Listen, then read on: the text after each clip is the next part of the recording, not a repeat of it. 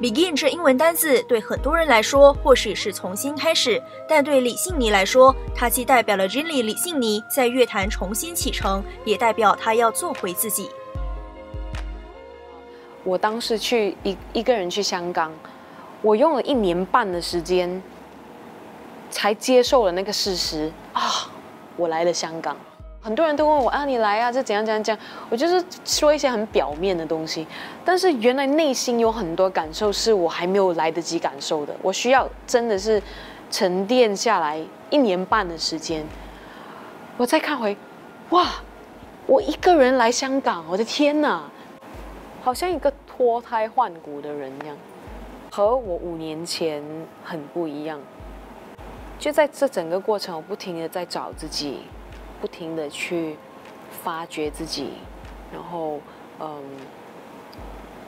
发掘完了，找完了，然后又要去建立自己，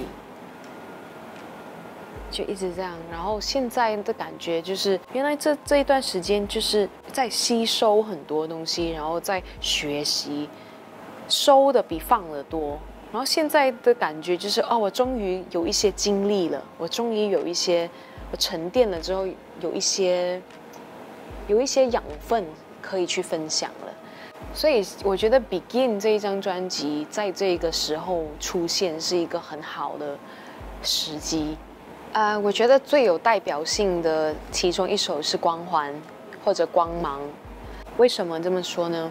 因为当我在制作这首歌的时候，是我处于就是那个低谷的时候。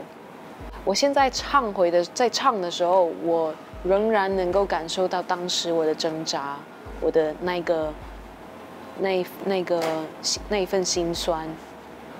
但是同时，我也为我自己感到骄傲，因为我当时的、因为当时的坚持，所以我走到今天。参加《中国好声音》是李信尼音乐旅程的转捩点。虽然不喜欢歌唱比赛，但他清楚这是能够改变现状的机会。我觉得时机很重要，在我常常会觉得你在对的时候做对的事，那就对了；你在错的时候做对的事，也会错。所以那个时候，去年为什么我最后决定会嗯去参加这个比赛？因为我知道，嗯，如果我不踏出这一步的话，我就可能没有办法走出这个困局。我当时那个困局，我要。自己想一个办法去走出一条路，即使我不喜欢比赛，我也要去做这个决定，因为我在那个对的时候，我要做一个对的事情。没有哎，我其实对于这些东西还还看得蛮蛮淡的，不好的就是一些嗯比较没有建设性的评论，我不会看。